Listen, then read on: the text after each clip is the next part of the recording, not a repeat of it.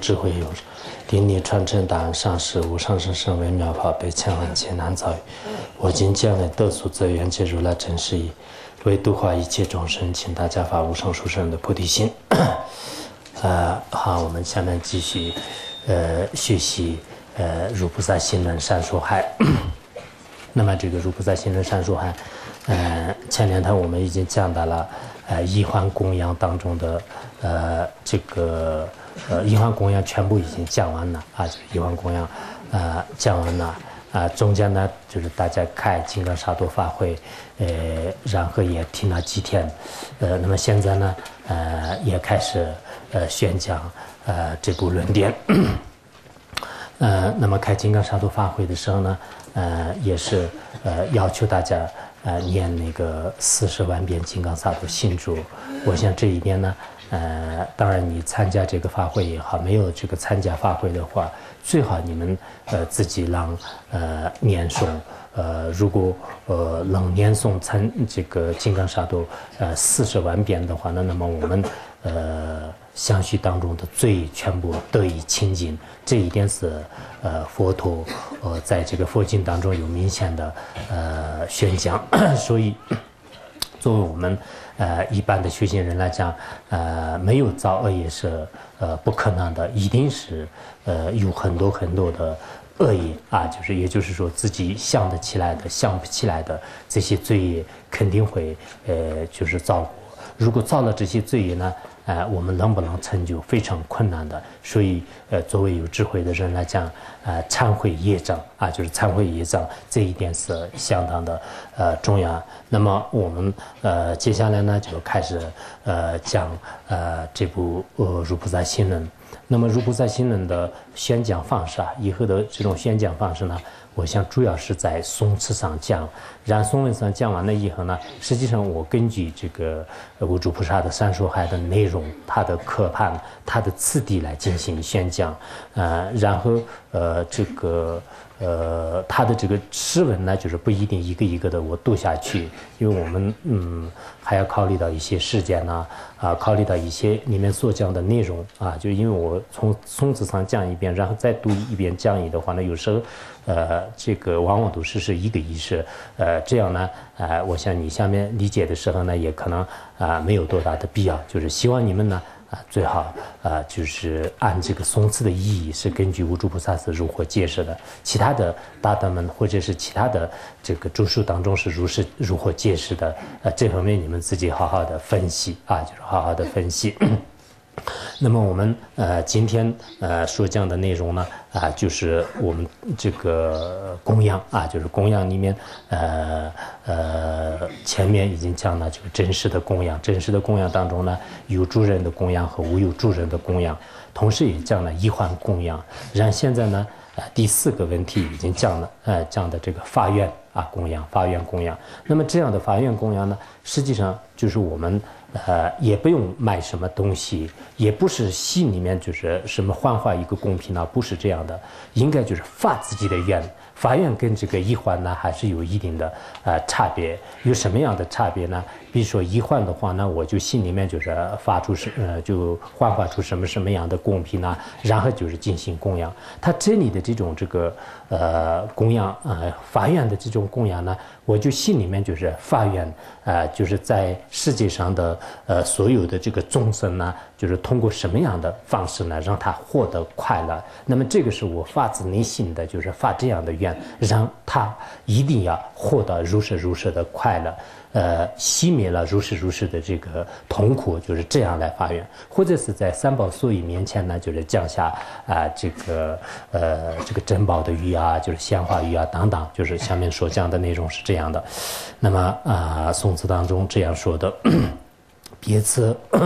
别此也献功，月以每呃月以每个月，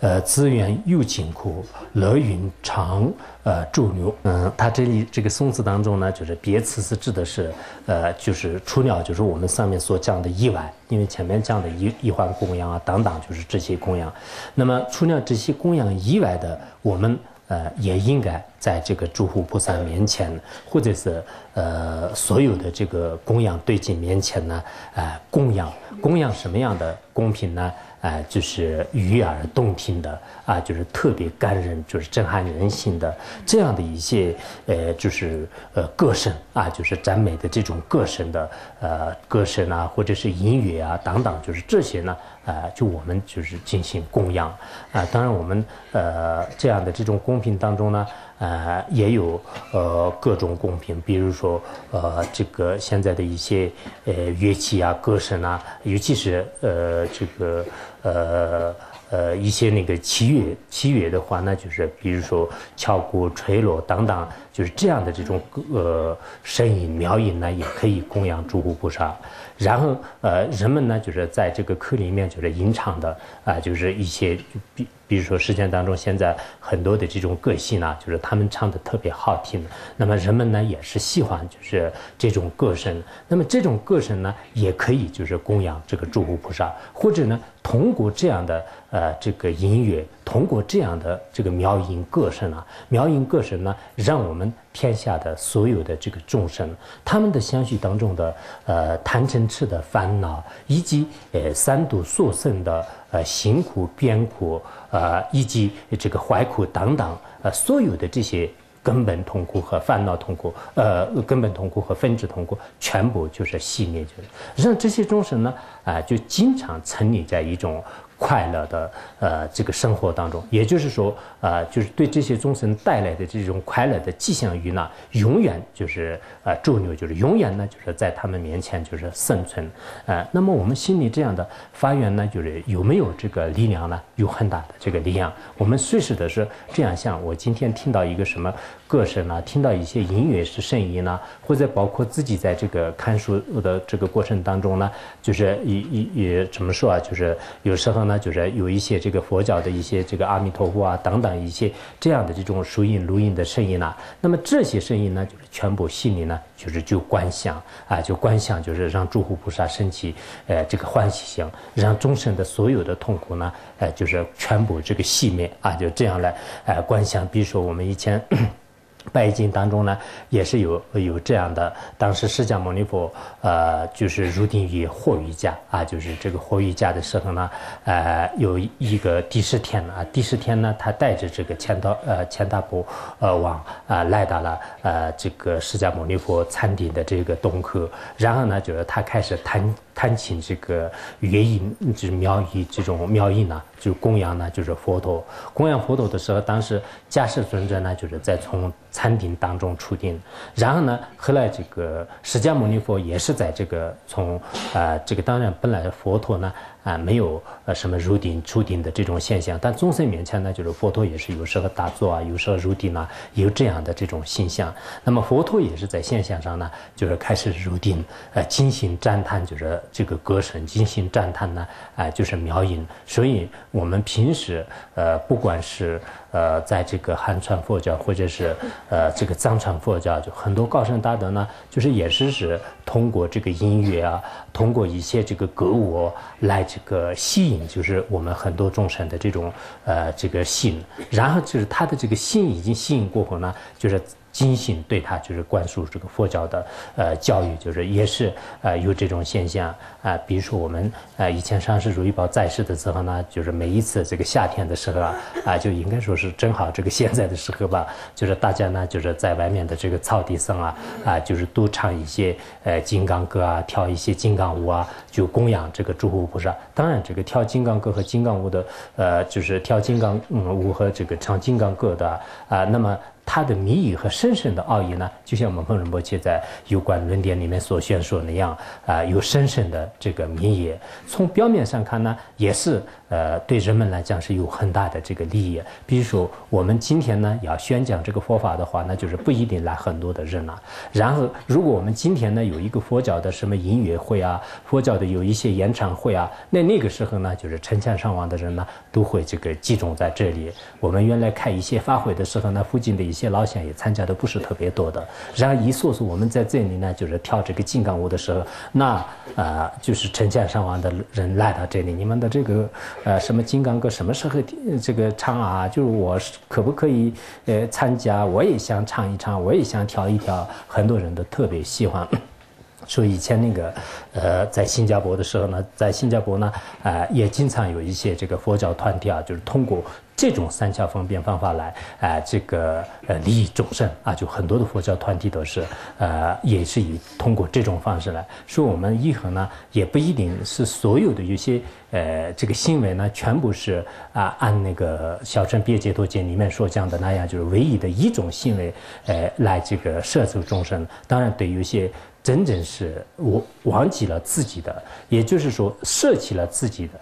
完全是利益他众的一些大菩萨的行为呢，可能我们一般人不一定是能这个接受。但不管怎么样呢，他有特别深深的一些呃这个秘密，就是通过这种方式来呃让很多的众生呢获得这个快乐。平时呢他在生活当中呢也心里的烦恼也很深重很痛苦，但是当他听到一些佛教的音语啊，当他啊就是获得了这样的这种啊这个佛教的情景的慈悲的啊这种。啊，这个呃感受的话呢，那么啊，就是马上这个熄灭自相续当中的这个烦恼。所以说呢，啊，我们有时候呢，啊，就是可能对有些高深大德啊，对有些人的这个行为呢，就是完全不能以这个我们的一些呃，当然按照小乘直接头呃比别接头的。观点来讲呢，啊，这个出家人呢也不能唱歌跳舞，就这一点大家都应该啊清楚的。所以一般的出出家人呢，就是你完全是以世间的歌舞来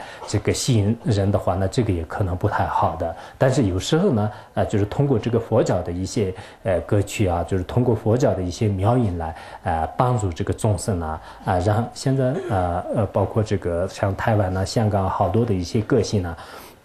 他们都是唱一些那个观音心珠啊、阿弥陀佛啊，还有一些呃呃大白珠啊、这个心珠啊、啊什么这个心经呢啊等等等，就是有很多的这种啊这个佛教的有关这个内容给大家啊这个唱诵。这样的话呢啊，我们平时也看见不信佛教的人呢，就是在这个车里面的是经常放这些呃这个音乐啊，实际上对他的相续当中呢，也是呃这个播下一个善根，就是我觉得呃很重要。所以有时候发心特别大。的话呢，那么就是自己，呃，不管怎么样呢，就是对众生也是有利的情况下呢，也可以这样做啊，就是可以这样子啊。我听到那个海涛法师的话呢，啊，他到日本去的时候呢，有些人给他讲，就是我们去这个呃卡拉 OK，就是呃，他说我出家人怎么不能去啊？后来他们说去去去没有事。后来他说好，那我也去吧，我去，最好你们不要告诉别人。啊 啊，就是呃，他去了以后的话，那就是给别人，就是给什么这个很好的一些念珠啊，然后给他们就是给一些法本啊，逐渐逐渐在这样的这个演艺圈里面的有些人呢，也相当一部分已经就是呃，就带入我们的这个佛教这个团体，所以我们有时候呃，这个佛教的这种怎么说啊，就是你他的心特别重的话，那当然啊，在这个某些情况下、某些场合当中呢，也有这样的这个开穴和方便方法。但是我们有些呃，这个自私自利的心呐，就是贪心嗔心，尤其是对自己的一些恶劣习气没有这个断除，反而自己没有报我的话呢，恐怕也不去好一点。你原来呢好很想那个度化众生，你就自己呃想这个到这种场合里面去了，就是结果你自己也是沉溺在里面，然后你自己呢就是无能自拔的话呢，那就很可怜。就是所以说，有些人呢啊自己想啊发心，就结果呢就是在发心。过程当中呢，就是失败，就是也有这样的，这方面大家应该注意。不管怎么样呢，我们要啊观想的时候啊啊，就是十方诸佛菩萨呢啊，应该呃这个随处都在。然后我们在这个呃自己的依靠，以我发愿力量呢，啊，就是以愿意的这种歌声，就是献上诸佛菩萨，让所有的众生获得快乐啊，应该这样来这个发愿。那么下面第二个呃法院呢，呃是宋词当中呃这样说的：唯愿珍宝华如雨，呃须降临，一切妙法宝，呃，宁塔佛身前。他这里的意思呢，就是说还有呃，我们要同时发愿世界上的各种各样的呃，比如说麻辣、双护啊、啊松石等各种珍宝的这种这个各种珍宝、各种鲜花的玉呢，呃，就是降临。不断的降临，就是并不是一次、二次或者偶尔性的，呃，是永远的、恒常的。不断的这个降临在降临在什么地方呢？就是降临在这个呃一切这个三宝所依的法宝面前，一切这个三宝所依的呃这个佛塔啊，就是佛的这个灵塔，可以说佛塔。还有呢，就是在佛像面前，我们在这里呢，呃，就是代表这个佛的身体呢，就是佛像；代表佛的这个性呢，就是佛塔；代表这个佛的语言呢，就是这个法宝啊，就是法宝。所以呢，呃，我们也随时的是要。观想法院，观想法院呢，世界上的这个无数的这种呃贡品啊、鲜花啊，以及呢就是珍珠等等，这样呢就像是天上降下来的这个呃雪花纷飞一样的，就变成就是各种形象的贡品，让永远的恒实的呃就是降呃降临或者飘落在这个三宝座椅面前。那么这里的三宝座椅呢？啊，大家也应该呃比较这个清楚。比如说，它这里的这个所谓的这个法宝啊，所谓的这个法宝呢，啊，实际上是从内容上和言辞上，就是用量方面来讲的。从言辞上的话呢，我们这个所谓的三藏十二部啊，就是三藏十二部，以及后来的高僧大德们所呃造的这些无数的呃这个论点啊，就这些都是包括啊这个呃教法里面啊，就是包括教法当中。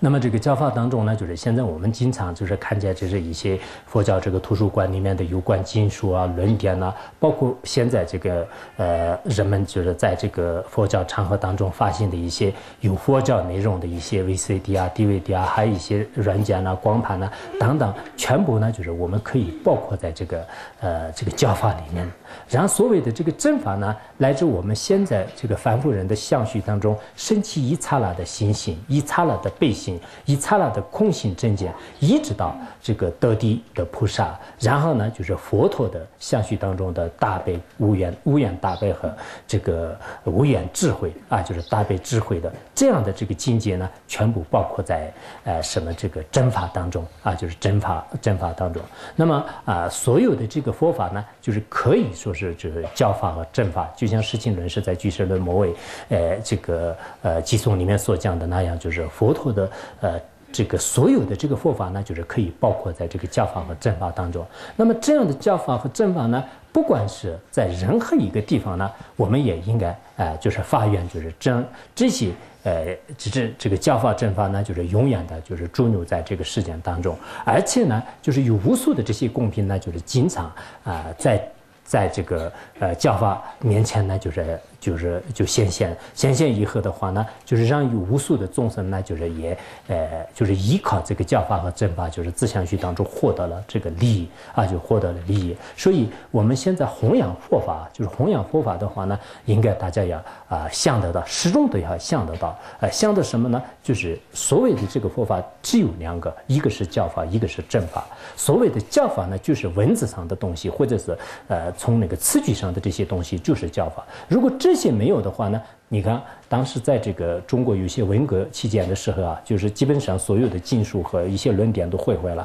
那个时候的所谓的教法呢，就是受到一定的损伤啊，就损害、毁灭，就是也可以说是是一个历史性的毁灭。那么啊，这个那个时候在真法当中呢，就是受到毁灭没有？当然，有些人可能是邪见呢，也有这样的，但也有相当一部分的新的相续当中的这种。对这个佛陀的感恩之情啊，对众生的悲心啊，或者说啊，对这个佛法的这种境界啊，就根本没有这个呃，没有丝毫的这个瞬间，没有丝毫的这个减少。这种情况有。那么在这种情况呢，可以说是教法呃受了一定的损害，但是正法呢也有呃，就是有相当一部分啊，就是可以这样讲。那么我们现在来讲呢，在有些道场当中呢，啊，既有这个教法，也有这个正法。有些地方呢，虽然有啊什么大藏经啊、轮主啊，就是全部都拜的真正经济，但是呢，人们都是不没有去研究，没有去参与，没有去呃这个修行，没有去修行的话呢，教法是有，但真法呢就是没有的。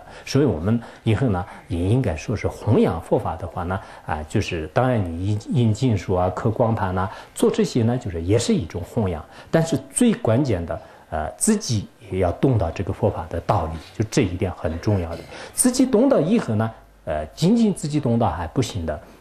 我自己懂到的这种啊，这个境界的话呢，尽量的传给有缘的众生了啊。我们每一个人的身边呢，实际上是有很多很多的一些呃具有善根的人啊啊，具有善根的人面前呢，哪怕是你给他讲一点这个阿弥陀佛的这个修法啊，或者说是讲一些菩提心的功德，或者讲一些呃这个基本的一些佛法的注意的力量啊，这样逐渐逐渐他的心的相续当中有一些改变。那么所谓的这个改变啊，这一点呢，我们可以称之为是这个阵法。所以呢，呃，平时我们也在讲，就是所谓的这个弘扬佛法呢，你不一定要呃非要在一个法座上，或者是呃依靠举行一个特别隆重的仪式啊，不一定是这样的。实际上是每一个人的这个呃身上呢，就是起一点，就是或者他的这个心里呢，就是有种改变。原来是恶人，现在变成善人；原来对佛法有成见，现在对佛法有正见。那么啊，这样的呃这种这个呃怎么说啊？就是方式呢，就是我们可以叫这个弘扬佛法啊，就弘扬佛法。所以呢，呃呃，不管是你是什么样的这个佛教徒呢，就是我觉得是弘扬佛法的机会是都有的，只不过是有些人呢就是不运用而已啊，不运用而已。所以他这里就是所谓的妙法，应该这样理解。然后接下来就是讲那个灵塔，就是佛塔，就是他这里这个刚才就是一个是教法，一个是这个佛塔。那么这个佛塔呢？啊，我们也平时知道，呃，这个比如说按照密宗的观点的话呢，那么十轮金刚佛塔就是我们这个大皇王坛城啊，坛城佛道，呃，还有呃像密集金刚佛塔等等，就是有许许多多的一些呃这个密宗方面的一些坛城啊佛塔，就是这方面也比较多。然后按照那个呃仙宗工程的呃这个佛塔的话，那就是呃这个呃佛经当中经常这个所讲的有八种这个佛。佛塔，那么八种佛塔当中呢，第一个我们经常说的是莲花塔。实际上，莲花塔呢，呃，就是当时呃释迦牟尼佛在宁比林花园呃降生，呃就是降生以后呢，啊就是整个我们这个世界当中就是佛陀就是出世出世啊，就后来呢，呃就是金梵王就是为了这个纪念啊佛陀的这种诞生啊，啊就是然后在这个宁宁波宁波林花园呢，就是造了这个佛塔，就是就这个叫做是这。个莲花塔啊，还有呢，就是叫这个第二个佛塔叫做是这个菩提塔，就是菩提塔呢，啊，释迦牟尼佛在那个呃印度金刚座，呃，就是呃先前这个成呃成道。啊，就成道，就是降服啊四魔，呃，就是获得了就是大彻大悟啊。那么这个呢，啊，后来就是呃尊称王当，就是呃就是为了就是纪念就是佛师尊呢，就是当年的这种成就啊，就是证悟啊啊，就是就建了这样的这个佛塔，呃，人们呢也称之为叫做降魔塔啊，就是这叫做是呃这个降魔塔。那么第三个呢，啊，就是说这个转发论塔，就是转发论塔呢。啊，佛陀称道义和，呃，再过了这个四十九天，呃，以后呢，就是到这个印度卢夷园，呃，为这个四比丘为主的呃众生宣讲了第一个四谛这个法论呢，就是整个事件当中呢，就是传向了呃这个法故，就是也可以说是呃这个佛法呢，就是呃就我们就是这个娑婆世界的，也就是说。释迦牟尼佛第四佛的这个佛法，那就是从那个时候啊开始。那么这个呃，这个为了纪念这一点，就是所建的佛塔呢，就是叫做是呃转法轮塔，也叫做是这个吉祥门塔，就是吉祥门塔。所以，呃，这是这个呃转发轮塔。那么第四个呢，就是叫这个森边森边塔。森边塔呢，当然我这里呢，就是今天我没有呃，其实我每一个人呢，就是应该把这个佛塔就是拉出来也可以，但是到时候给大家也应该有通过各种方式来给大家可以呃看一看吧。就是原来上师心地的后面呢，呃有这个八大佛塔。就其实我们印经书的时候，有时候呢，啊，在这个八大佛塔就是架在里面印在里面的话，那。实际上修八大八种佛塔的这个功德也有，呃，这样的话，呃，那么这个呃，刚才所谓的这个身边塔，就是身边塔呢，释迦牟尼佛呃，在这个舍卫城呃相父就是外道的这个鲁达本寺呃之后呢，啊，就是获得了这个胜利，就是获得了胜利以后呢，啊，就是尼扎波国王等等，就是他们呢，就是建造的这个佛塔叫做是呃这个森扁塔，然后第六个就是呃天降塔。所谓的天降塔呢，佛陀呃就是到了这个三十三天为母亲所呃大乘佛法，后来来到人间的时候呢，啊就是人们呃就是为了纪念这一点呃然后所造的呃佛塔呢，就是叫做是天降啊，就是天降塔啊，也就是叫做这个天降塔，还有一个叫做这个赫赫塔，就是这第六个佛塔呢叫赫赫塔。那么赫赫塔呢，就是在这个曼加达地方，呃，这个佛陀为呃提婆达多为主的一些人告这个呃这破获和圣，就是然后呢，呃，就是这个呃僧宗赫赫以后呢，就是所建的佛塔叫做是呃这个赫赫塔。第七个佛塔叫做是尊神塔。尊神塔呢，释迦牟尼佛要接近涅槃的时候啊，啊，当时这个很多弟子在佛陀面前请求，就是不要这个涅槃。佛陀呢，啊，就是告诉。呃，大家，那你们这个给我建造一个尊神塔。那么尊神塔呢，就是代表我的这个法身。呃，就呃，现在我们呃，就是在汉地也好，在很多地方呢，就是有这个佛塔，就是叫做是这个尊神塔。那么第八个就叫做是这个涅槃塔。涅槃塔呢，呃，就释迦牟尼佛呃，最后啊啊，就是最后呢，就是在这个呃居卢那城，就是居卢那城这个现世涅槃的时候呢，啊，就呃这个呃。呃呃，大家呢就是也是为这个呃佛陀的这个纪念吧，就是造的这种这个佛塔，就是这叫做是这个涅槃塔。除了这个以外啊，啊，在这个佛塔呢，呃，从这个历史上看呢，也是有许许多多的佛塔，所以我们在这些呃佛塔面前呢。啊，也应该我们见到这些佛塔的时候呢，也应该啊这样想，就是这就是代表这个佛陀，而且佛陀呢就亲自开许，就是造这些这个佛塔啊，尤其是我们现在藏传佛教当中啊所造的这些佛塔的话呢，啊，实际上这个佛经当中是有呃特别好的一些那个呃怎么说啊，就是呃就是有这个记载的啊，就是有佛经当中有这个记载的，然后它的这个形状啊，它的这个尺寸啊，这些都是是。呃，非常的这个如法啊，就大家看见这些白色的塔呢，就不要认为啊，这里有个白色的塔，哪里有个白塔，这个不论怎么想，就是这就是代表这个佛陀。我们现在可怜的末法时代的众生呢，看见真正的佛陀是没有办法的。但是佛陀在有关这个经典里面，呃，比如说这个呃《游占佛塔经》啊等等这些经典当中呢，都宣讲了这个。佛塔的种种功德啊，种种功德。因此，呃，平时我们这个佛塔的形象呢，就是多种多样的。汉传佛教也有汉传佛教的一些佛塔，比如说像那个呃斯里兰卡，还有一些呃像那个印尼啊等等，就是这些呢也有不同的一些这个佛塔的形状。那么这些的这个形状跟现在泰国的一些佛塔的形状呢，也是是比较相同的。呃，那么不管是你什么样的这个佛塔呢，都有一定的这个历史的依据。比如说以前阿育王。呃，那个他发心就是造这个八万四千个佛塔，那么这些佛塔呢，就是嗯，就很多地方的这个佛塔的形状呢，不一定是呃相同的，但实际上呢，就是跟这个佛的真身呢没有啊什么差别。呃，同时呢，呃，我们也呃应该这样这个像，就是凡是世界上的呃这个佛塔，在这个画像上也好，真正这个居住的地方，这些都应该就是像这个供养。地名啊，就这是对我们修行人来讲是非常的重要。看见一个佛塔，那就是你马上那个戒下帽子，你马上合掌地名啊，这样呃，对你对你来讲，这个呃功德相当大啊。尤其是呃现在这个中国来讲呢，就是在北京有这个佛牙舍利塔，就是佛牙舍利塔的话呢，啊，确实是就是佛陀的真正的这个佛牙呢，就是就装在这个里面。就是从历史上看呢，这是细微的呃难得呃，我们这个有机会的时候呢，应该朝拜法院就。就这也是很重要的。还有那个法门寺的这个佛智舍利啊，就是佛智舍利呢，也是是极为这个难得的。啊，除了中国的这两个以外，现在斯里兰卡有一个佛牙舍利，除了这个以外还是很少的，就是在世界上是很少的。因此呢，我们就是遇到了这些呃这个佛塔的时候呢，啊，大家也应该啊，就是在这个佛塔面前就是供鲜花、供水啊，或者说自己这个地念啊。如果这些机会都没有的话，那心里就念一些供养咒啊，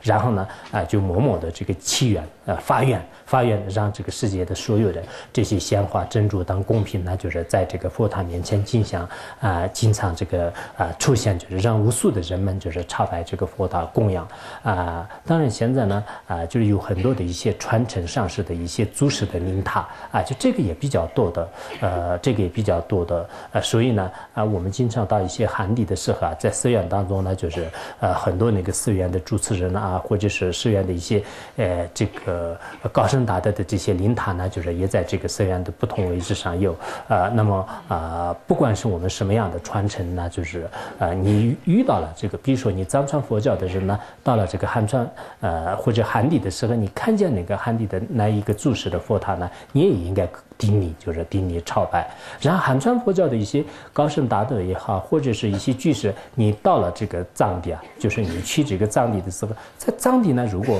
啊这个呃随处都看见一些这个白色的佛塔，那么在这个时候呢，你也应该这个合掌顶礼啊，就是因为这个造佛塔的功德也是呃相当大的。以前上师如意宝有一年就是不知道哪一年我忘了。他老人家也发愿，就是我们这个世界上呢，马上大家这个发愿也修一万个这个佛塔。后来，因为当时上师的发心力量是非常大，不像我们那样啊，就是发完心以后呢，就是各个地方就是发心，就是呃，就是一万多塔，就是很快的时间当中呢，就是在呃这个已经这个就是成功了，就是所以现在呢，我们到那里去的话呢，可以说在当年这这些呃造的这个佛塔呢，就是哪里都这个看得到，就是在在哪里都可以。看得到，就是在藏地来讲也是这样的，呃，所以呃，这就是我们这个供养的这个佛塔。然后后面还有一个叫这个佛像啊，就是佛圣，就是宋词里面说的佛像，实际上就是佛像。那么这个所谓的释迦牟尼佛的佛像呢，呃，应该说是当年这个佛陀在世的时候有一个呃，这个斯里兰卡的一个美女啊，就是呃，这个美女呢，呃，就是叫做是这个长嘴嘛，就也叫做是呃什么这个呃真满啊，就是没登长嘴，没登长嘴的话呢，应该就真满吧，珍珠的真就是饱满的满。那么真满美女呢，呃，就是当时那个祈求佛陀以后呢，佛陀开许，佛陀开许呢，就是。画这个呃佛世尊的这种像，啊，就从那个时候开始呢，就是有这个习惯，就是可以就是呃绘画啊，就是绘画。所以这个佛像呢，啊，当然是有这个雕刻的，还有一些这个塑造的，还有一些绘画的，就是多种多样的啊。就是现在一些商品商场里面去看的时候呢，啊，大家都知道，就是也有唐卡，也有一些画像啊，也有一些呃这个雕刻的等等，就是各种画像，不管是你。什么样的这个佛像呢，也是值得定礼。就像亲友说的前面的系统里面所讲的一样的，我们这个智者的话呢，对真正的佛陀不用说了，就是佛陀的这个画像啊啊，也应该啊值得地雷。真正的呃这个佛的画像呢，啊，比如说这个佛像啊，佛陀在世的时候的这个呃佛像呢，啊，当时佛陀二十四岁的、二十五岁的时候的一种这个像啊，就是就看就是。怎么说啊？就是像那个佛陀的这个是二十四、二十五岁的这个像那样，呃，制造的。当时那个呃，就是画家所制造的呢，就是在这个度岁天，就是人们有这种呃历史。然而佛陀。啊，十二岁和八岁的这种像啊，就是这种像呢，呃，就是呃，当时那个非常出名的一个叫做是呃，这个一个宫桥氏啊，就是宫桥氏叫做是干玛不朽啊，就是干玛不朽，他塑造的呃这种两尊这个佛像呢，就是现在分别为呃拉萨的大昭寺和呃小昭寺。那么这三个佛像呢，人们都说是佛陀亲自已经这个开光的啊，就亲自开光的。所以呢，人们朝拜的话，那实际上跟这个。佛头没有什么差别。我看见以前的一些历史书里面呢，还说有一个叫做檀香佛像，就是听说这个以前在北京故宫里面，不知道现在是怎么样。以前很多历史，呃，里面呢就是写的是，比如说包括这个红石的注释里面啊，啊，都写的是在北京故宫当中。那么这也是人们说是，呃，是这个佛陀亲自开光的啊，就佛陀亲自开光的，有这样的这个呃说法啊。那么啊，不管是佛陀亲自开光的也好，或者是佛陀开许的，后来我们。呃，现在这个看见的这个佛像啊，大家呢也应该看了以后，不要看着是一般的这种像啊，一般的一些画就不能这样像，一定要像这个跟这个佛陀没有什么差别。呃，法院呢，呃，让世界上的所有的这些美妙的公平，永远都呈现在这样的这个佛像面前。如果我们这样发愿的话呢，其实我们。呃，很艰难的事情呢，实际上啊，也造了这个极大的善意。也就是作为修行人来讲，随时都应该啊这样来这个发愿，就是这一点比较重要。那么下一个呃这个供养呢，就是第五个供养，也叫做是这个无上供养。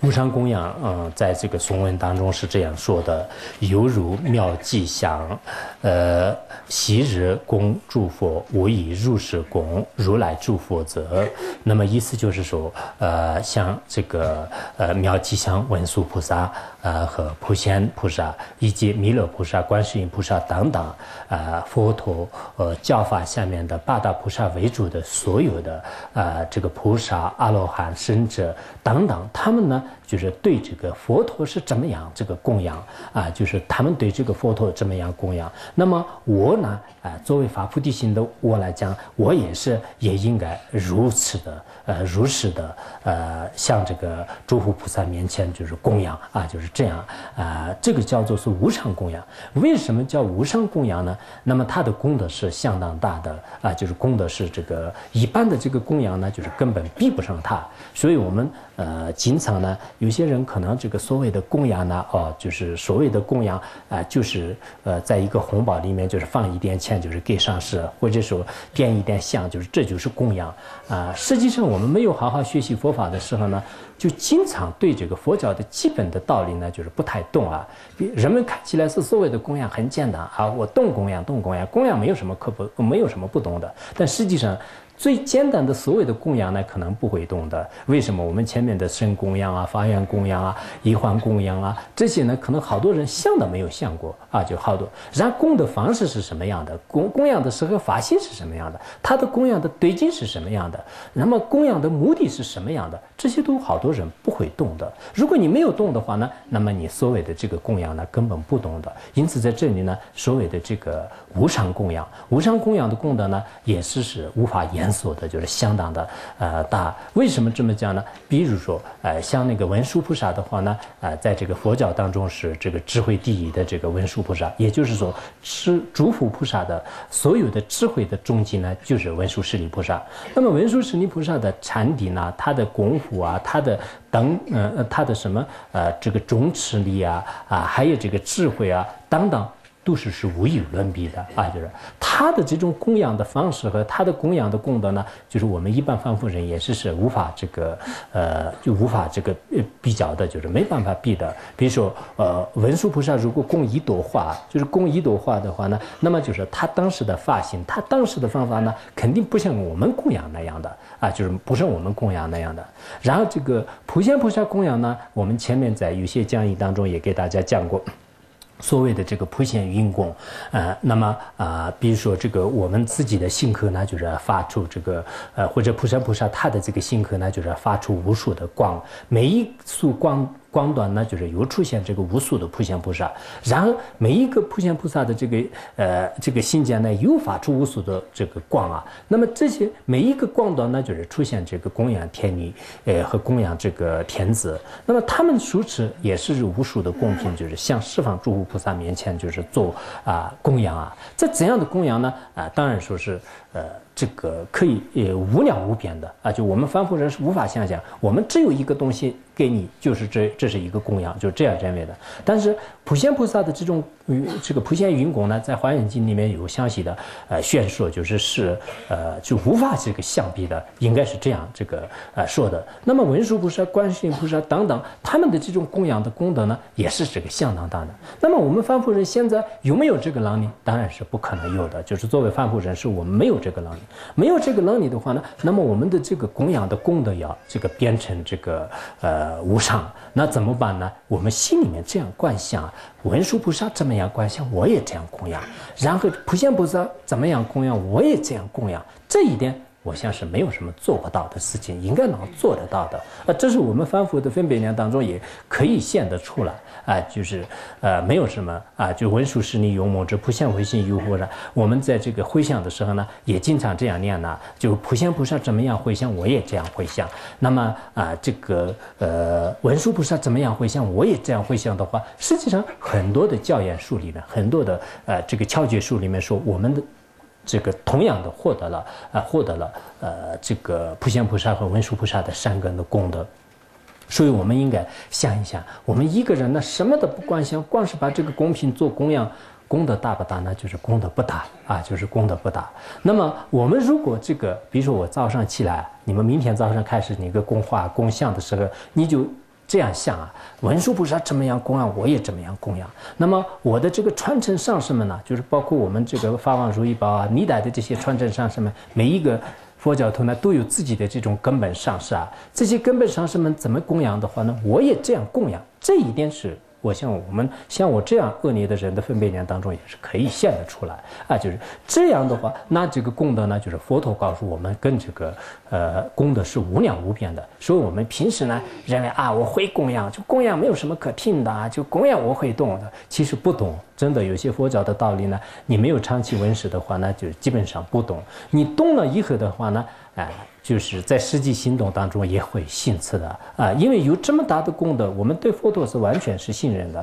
他的金刚语当中既然有这样的公平，呃，有这样的供养方法的话呢，那么我们呃是一定会是这样做的。就是我们一次这个供养的时候。比如说，你见到你的这个上司啊，你见到你的上司的时候呢，啊，就是你在一个红包里面，就是，呃，就是这个第一块钱呢，三毛钱呢，然后供养那个呃你的上司的时候呢，虽然是只是三毛钱，但是文殊菩萨怎么样供养，我也这样供养，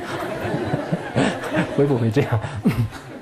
你这样的话呢，实际上是，呃，这个文殊菩萨就是给十方诸佛菩萨面前怎么样供养，你也是有如此大的这个供的。如果你没有这样的啊，这个反正别人也供养，我不。不供养也不好意思，还是供养一点吧。心里面也有这个呃牵涉心，也有一些这个呃不恭敬心呐，也有一些为难的这种心呐。不供养好像不好意思，就是还是供养一点吧。那这样的话，呃，这个呃供养的功德就没有了。就是所以呢，我想呃公平不。这个公平大小呢，就是不在于，就是一定要你的方法上看。我们这个平时呢，就是在诸佛菩萨面前也好，或者是高僧大德面前，在供养的时候呢，有没有这样的呃这个观想能力？这种观想能力呢，我想也不需要，就是什么这个远离一切细论的中观见呐，或者是一些密法的这个呃这个真见呐，密法的一些真我的这种真见呐，不需要这样啊，就依靠这样的想法来可以这个设置。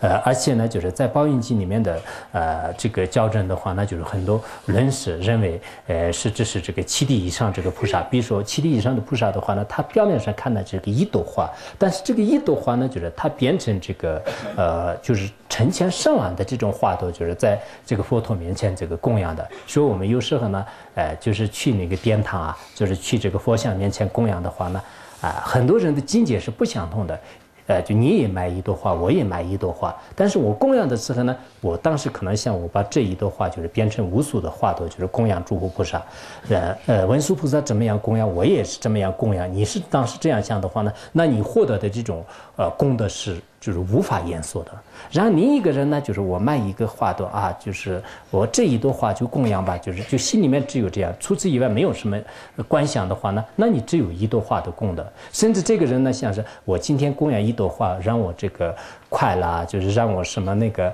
身体健康啊？因为那个人呢，我们原来也讲过，就是为了天下无边的一切众生而供养的话，那这个功德是完全是不相通的。所以，我们学习佛法呢，有时候呃觉得确实呃不要说一些大的这个真讲方面呢，就是一些高的这境界方面不说了，我很简单的一些供养啊、布施啊、慈济啊，在这些详详细细的问题上呢，很多人都不懂啊。因此，呃，现在的人们呢，就是特别需要学习佛。佛法。如果你没有学习佛法的话，口口声声说我是已经这个佛教徒啊，我是这个呃如何如何啊，这个了不起啊，实际上在自己的言行举止当中根本没有做如法的这个行为啊，就是没有做如法的一些事情。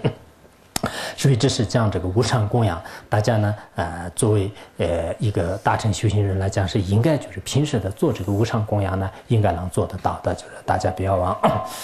嗯，下面讲的是第六个，就是旃檀这个供养啊，啊，旃檀供养呢，呃，是宋词当中是这样讲的：我以呃海草引，呃，瞻覆功德海，圆苗瞻，呃，葛云飘零必等前。他这里的意思呢，就是主要是以旃檀的这种歌声啊，旃檀的一些音声呢，就是供养具有呃像大海一般的深刻意的无量无边功德的诸佛菩萨面前，呃，那么我这。样的这种贡品呢，这样的这种歌声呢，永远都是就是变成那个吉祥的这种瞻格的运啊，就瞻格的运，永远呢就是飘落在这些呃诸佛菩萨面前，我们心里呢也是这样想，然后呢，呃，就平时。就听到了一些这个歌声啊，听到了一些呃什么，就是一些音乐的这种声音呢。那么这种声音的时候呢，也应该这样去这个呃观想，就是观想也可以，或者呢啊，在自己呃就是有时候自己这个伤着比较好一点的啊这样的人呢，就是在这个诸佛菩萨面前，就是经常啊就是唱一些这个呃这瞻仰三宝的歌啊啊，或者是瞻护歌啊，就是等等，就是这些可以这个呃演唱啊，就是演唱。这样以后呢，实际上自己也获得很大的呃功德啊。就现在有些外面的一些佛教徒啊啊，就他自己这个生意比较好一点的人呢，啊，就经常看见一个上师，哎，上师啊，我以前是在什么什么地方唱个歌啊，我要不要再给你面前唱个流行歌？那你流行歌不知道上是生不生欢喜也不好说。不过有些人的现在，呃，流行歌和三宝歌也是分不清楚。就是现在凡是这个听到一些，有些有些这个佛教徒呢，就是太过于的执着。呃，比如说我们这个呃 VCD 的前面呢，就是放一些佛教的音乐的时候呢，不要听不要听那些流行歌不要听。他们什么叫做流行歌都不知道。呃，也有这样的。呃，有些人可能就是根本分不清楚，就是这种也有。但实际上呢，啊，不管是什么样的音声，你只要这个。性清净，然后对这个呃十方诸佛菩萨也好，金刚上师升起欢喜心的话呢，就是也有就是非常大的功德啊，就也有非常大的功德。因为呃这个所谓的三宝呢，实际上是就是非常殊胜的对境啊。在三宝面前呢，我们怎么样的这个供养呢？就是有一定的这种啊这个力量啊，就是有一定的力量啊。在宝灯经当中啊，就是宝灯经当中呢，也是这样讲的，就是无垢的这种供品啊，就是无垢的供品呢。在这个三宝面前啊供养的话呢，就是原理就是四摩，很快的时间当中获得了这个菩提啊，就是在呃这个佛经当中啊也是这样讲的。然后在地藏啊地藏经，我们这个藏地的地藏经里面是有的，汉地地藏经是有是有，但是我里面有没有这个教中我没有放。那么《地藏经》当中呢，啊，这样讲的就是所谓的三界的快乐呢，就是全部是以这个三宝的这个力量而产生的。那么实际上，啊，想获得幸福快乐的人呢？一定要这个供养三宝啊，就供养三宝。当然，供养三宝的方式呢，你如果这个呃一些这个海潮音，就是海潮音是在这里呢，呃，就是意思就是说呢，呃，就是呃这个就无量无边的，就是大概是从这个时间上也好，或者从方向上呢，哎，就是无法衡量的无无量无边的。那么这样的这个音声来哎进行供养，就进行供养的话呢，那这个供的是无量无边的。同样的道理，你不管是从这个你的音声也好，或者是你的行为也好，你的心理也好，或者一些公平啊，凡是在这个书生的三宝对境面前做这样的供养，而有。我不可思议的功德，因此我们平时自己有一些公平呢，自己有一些能力的时候呢，应该有一个纯洁的信心来供养三宝啊，供养三宝是很重要的啊。如果没有供养三宝，就是平时我们这个供给自己的入神啊，供给这个呃或者没有什么意义的这样的对境的话呢，我觉得是呃就是呃不太合理。就是大家自己有这种能力的时候呢，哪怕是呃就是一个特别小的一些公平呢。你看见这个佛像的时候呢，就是去恭敬供化啊。我看见汉地的很多寺院当中呢，真的在这个佛像面前供花供香啊，那这种现象是相当多的。有时候看起来呢，啊，真的，虽然他们有时候有些人呢，就是发愿可能不是特别的这个好，就是就全是为了就是自己的这种展示的一些呃这个利益。但不管怎么样呢，在你在佛陀面前呢，就是皈依啊、供养啊、定力啊，这个功德是。就非常大的，因此呢，应该值得随喜。那么下面是第呃七支公里面的就是供养制已经讲完了啊，就是供养有这么多的这种方式已经讲完了。接下来过后呢，就是七支公里面第二个就是顶礼制啊，顶礼制呢，呃是宋词当中这样说的，呃化身呃微尘数匍匐我顶礼，三世一切佛真法最甚神。呃，那么呃，这个呢，我们在顶礼的时候呢，应该这样观想，呃，所有的呃这个诸佛菩萨面前呢，啊，就是把自己的身体，呃，不应该观想一个人在这个顶礼啊，就呃，在有关经典当中也这样说的。我们在顶礼的时候，把自己的身体呢，就是化成这个无数的微尘的数量啊，也就是说是无量无边的自己的这种身体，呃，无量无边的这种身体呢，就是在这个呃具有。无量无边的功德的诸佛菩萨面前，就是身体也呃语言心全是相当的恭敬而呃这个定力而就是恭敬的定力。那么他这里顶礼的对境呢，就是呃未来已经这个实现涅槃的这个佛陀呃诸佛菩萨，然后现在正在转法轮的，后来呢就是即将涅槃的这些三世的呃诸佛呃这个菩萨以及这个自己的金刚上师，当当面前就是顶礼。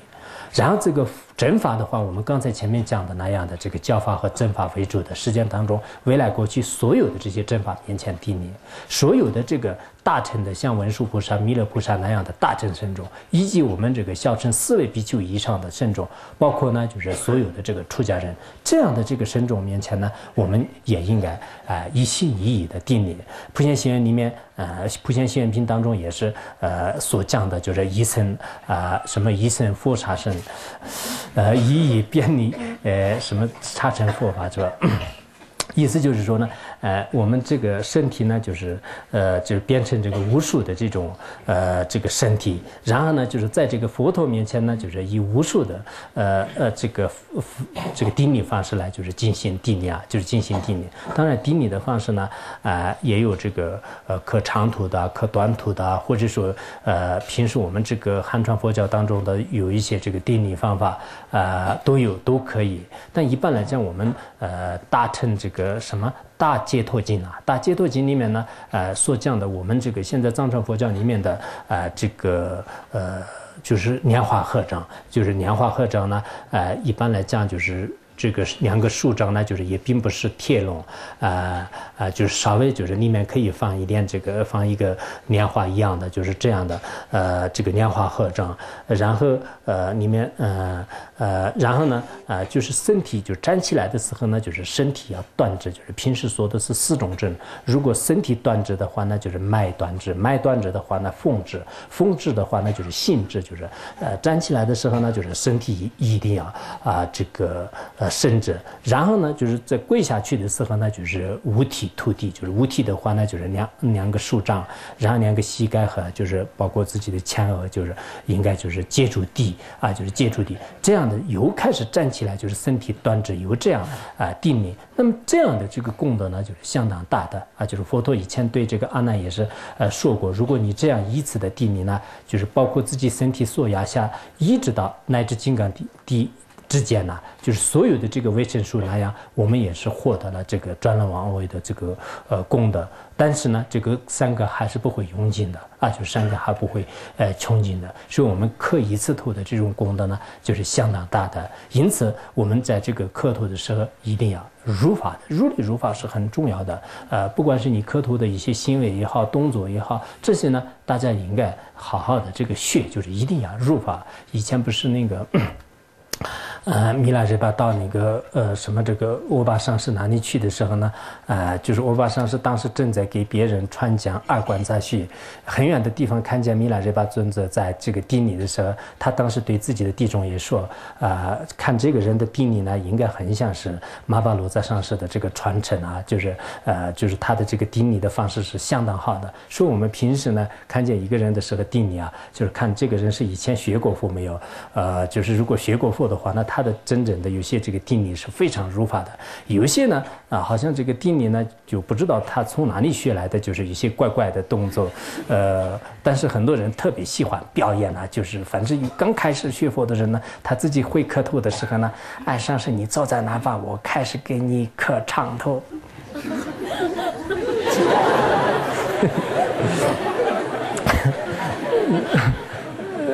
自己觉得是好像那个呃会磕头是非常好。嗯，那这样也可以，就当然这样，嗯，也很好。不管怎么样呢，啊，我们这个磕头的时候呢，就是大家还是入法很重要，就是入入法很重要的。呃，嗯，这样这个磕头呢，有非常大的这个功德，这就是所谓的这个定力。下面还境界就是说，经理佛灵他菩提心根本，也呃离界生世堪博阿舍利。那么我们同时呢，也应该定立这个前面所讲的那样的这个佛陀的这种呃这个灵塔佛。像啊，定呃这个佛塔啊，还有呢啊，就是定你这个菩提心根本。它这里的菩提心根本呢啊，就是自相续当中身体菩提心的来源啊。也就是说，依靠这个大乘上师来升起的话呢，就是这个上师就是菩提心的根本。如果依靠一些大乘的法本来你的相续当中升起菩提心的话呢，那么这就是呃这个法本。比如说我们这个如菩萨心论呢。啊，依靠如菩萨心论，你的相续当中升起菩提心的话呢，以后你看见如菩萨心论的时候呢，就是马上，呃，这个定力啊，就一看到如菩萨心论的时候，马上这个在这个滚下去，就是在定力。哦，为什么这样定呢？因为这里有呃这个如菩萨心论这本书，就是我相续当中升起菩提心的根本呢。这样的话呢，别人没有什么理由就阻止你啊，就是。然后你看见一些，还有一些大臣的这个，比如说，呃，一些书生的地方啊，就是包括我们这个拉荣的话，我有时候经常这样想的啊，就是呃，在自己呢，确实在这里也待的时间是比较长的，但是对佛法的一些微妙的这个真见呢，微妙的相信因果啊，对大臣的。呃，菩提心的可能能不能说得上也不好说，但是呢，呃，对想死的这个菩提心呢，确实在这个身体里面升起来，所以呢，以后不管是怎么样，就是呃，只要看见这个地方的时候呢，就是自己肯定很像这个定力的。呃，那么有些经典里面这样讲的，就是这个菩提心的根本，不管是法本上师，还有一些这个地方，呃呃，同时呢，就是在自己的上师啊，上师呃降生的地方啊，转法轮的地方啊，缘起的地方呢。都要这个定力啊，就是都要定力。包括我们这个佛陀呢，就是刚开始降生的地方、转法轮的地方、成道的地方、最后涅槃的地方呢，都是呃有关佛经里面说是跟这个佛陀的真身没有什么差别。所以我们以后有机会，就是如果你去了印度啊，或者说呃在这个这些地方的时候，凡是佛陀的这种现实各种各样的一些弘法利生事迹的地方呢，都要去定力。让我们这个一些高僧大德们呢，就是你的这个上师们，你。的传承上什么呢？在哪里这个弘法的道场啊？这些呢，我们也应该值得定力。为什么呢？在我们的相续当中获得了这种智慧的力量，这就是来源，就是它的这种源泉。所以呢，我们也应该呃值得定力啊，就值得定力。同时在这里呢，也应该定你，就是戒圣师。戒圣师呢，就是他这里就是，比如说有些人呢，就是孜孜不倦的这个心思解脱知识的一些，呃，这个修持密法的大成就者啊，就是大成就者。那么这种大成就者面前呢？啊，不管是你学仙宗的、学仙宗的，凡是这些大成就者呢，我们也应该值得定你的。那么有些人像我作为一个出家人，可不可以定你一些？呃，在家的这个大成就者，可不可以定力呢？当然，按照一些先祖的，比如说这个。呃，《梵网经》里面呢，呃，已经说了，就是出家人是不能呃定力，就是在家的国王啊、自己的父母啊就不能定力。然后呢，呃，这个《涅槃经》呢，就是《涅槃经》第六卷里面呢也说了，就是说是这个出家。人呢，就是对这个在家人是不能定力的。呃，还有四分律当中呢，也讲了，就是出家人是对这个白衣这个，也就是说在家人呢不能定力的。但是呢，啊，我们这个密宗的十论金刚当中呢，也也是这样讲。一般来讲，我们呃这个出家人是就是值得所有的这个人的恭敬。恭敬定力之处，就像《碎念三宝经》里面所讲的一样，碎念呃就是恭敬定力。但是如果在家人他的成就的境界相当高的话呢，那么就是即使出家人呢，也可以向在家人这个定力。所以有些人呢，你这个在家身份的一些上师啊，这样的话呢，那他是是不是真正有一些境界？如果真正是呃了不起的大成就者的话呢，就是作为一个出家人在上师面前，在你的这个在家人面前也是是可以定力。呃，不过上师的话呢，在按照呃其他的这个有些《毗拉耶经》里面也是说了，就是比如说以前你的这个上师后来这个上师还俗了，还俗以后他现在在家相的时候呢，你也可以在这个上师面前定力，就是这是呃以前在有些戒律当中呢也有这样的这个说法，但按照密宗的角度来讲，是这个是必须要成就者，这不是成就者的话呢，你就作为。出家人呢，不能像那个在家人，啊，定力啊，就是不能像在家人定力。如果呃成就者的话呢，就是也应该可以定力的意思。嗯，那么这里这个堪博二十里，所谓的堪博呢，这就是在这个呃《华曼论》当中也讲了，就是对自己传比丘戒和萨密戒的啊，就是这种法师呢，就是叫做是呃清教师，也叫做是呃这个这种上师呢，叫叫做是堪博，就是这种法师。同时呢，也定力这个二十。里阿西里的话呢，密宗的所有的金刚上师也叫做是阿舍利。仙宗当中的话呢，就是这叫做是贵凡师。比如说我们这个呃什么这个忏悔的上师啊，传讲佛法的上师啊，或者是给你传传一些戒律的上师啊，皈依的上师都包括在这个阿舍利当中。因此呢，我们呃这个世世的应该就是向这个自己的呃上师啊，就是传承上师呢，也应该定力啊，就是这个意思。好，今天讲到这里吧。thank you